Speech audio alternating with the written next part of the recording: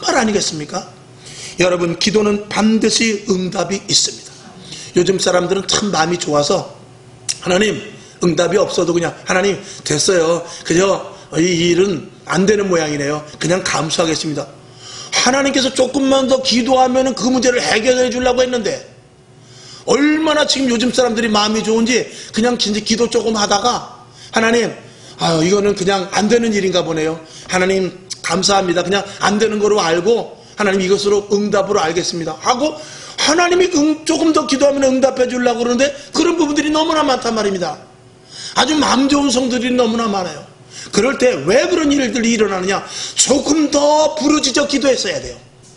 조금 더 영적인 부분 속에서 표면이 아니라 이면 속에서 마귀가 나를 넘어뜨리려고 하는 부분을 조금만 더 기도했으면 알아서 어 이게 아니구나 내가 이거를 반드시 이루어야 되겠구나 아 이 일은 내가 지금 여태까지 속고 있었네 내가 지금 여기 머물러 있는 것이 이게 응답이 아니었구나. 내가 조금 더 가야 되는 것이네. 그럼 내가 처음에 기도, 하나님 앞에 부르짖어 기도한 것이 이게 맞는 거였네. 내가 까딱했으면 포기할 뻔했네. 하면서 영적인 부분을 알게 된단 말입니다.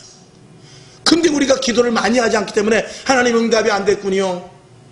하나님 그저 응답이 안 된 거 무응답도 응답이라고 그러는데 응답이 안 될 줄로 알고 그저 여기에서 저는 이 길에서 또 여기서 길을 찾겠습니다는 이런 자칫 잘못하면 그게 응답이 아닌데도 불구하고 응답을 알고 미련한 일로 미련한 길로 갈 수 있다는 말입니다. 이해가 가시죠? 이거는 우리에게 있어서 그리스도인에게 있어서 엄청난 큰 실수인 것입니다.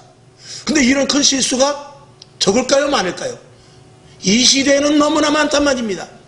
20년, 30년 전에 간절히 부르짖어 기도했을 때는요, 저희 부모 세대 같은 경우는 그렇게 기도해서 엄청난 일들을 이뤘단 말입니다.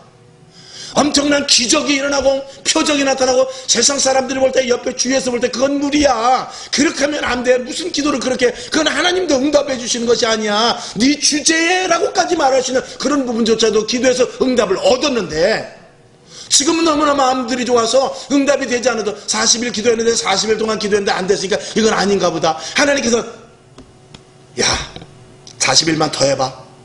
이런 나름대로 어떤 계획을 가졌는데 그걸 모르고 40일밖에 안 했다면 얼마나 억울하냐 이 말이죠.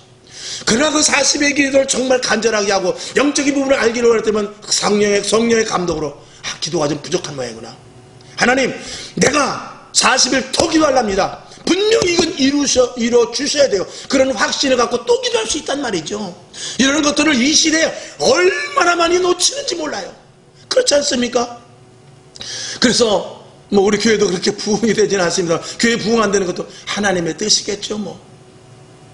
내 사업장이 커지지 않는 것도 하나님의 뜻이겠죠.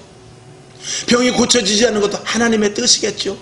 이렇게 모든 것들을 자기 자신이 정말 간절하게 죽기 살기로 기도하지도 않으면서 영적인 부분이 지금 어떻게 돌아가는지도 알지도 모르면서 하나님의 뜻으로 알고 하나님 아멘 감사합니다라고 이렇게 한다면 우리는 마귀가 볼 때 우리는 얼마나 억울한 존재냐 이 말이죠. 여러분 이런 실수는 저와 여러분 이제는 이런 실수는 해서 안 될 줄로 믿습니다. 아멘이시죠? 끝까지 한 번 기도 제목을 놓고 기도했으면 확실히 만약에 이런 경우가 있어요. 응답이 안 됐을 때 아, 이거는 아닌가 보다. 라고 생각하기 전에 하나님 안 되면 안 된다고 말씀해 주시옵소서. 할렐루야 아니면 아니라고 말씀을 해주시고 여기까지면 여기까지라고 말씀을 해주시고 그것은 거기가 다하고 또 다른 나의 계획이 있다라고 확실하게 차라리 말씀을 해주시옵소서. 이런 응답까지 우리가 들어야 될 줄로 믿습니다. 이게 기도하는 자로서의 하나님과의 교제 속에서 하나님은 살아계시고 하나님은 말씀하시는 분이고 하나님은 오늘도 역사하시는 분이니까 하나님 분명히 우리에게 대답을 해주실 줄로 믿습니다. 근데 이걸 다 놓친다면 마귀는 좋아하고 우리는 엄청난 억울한 신앙생활을 하고 있는 것 아니겠습니까? 여기에서 벗어날 수 있기를 주님의 이름으로 화평방송 구독, 좋아요 부탁드립니다. 감사합니다.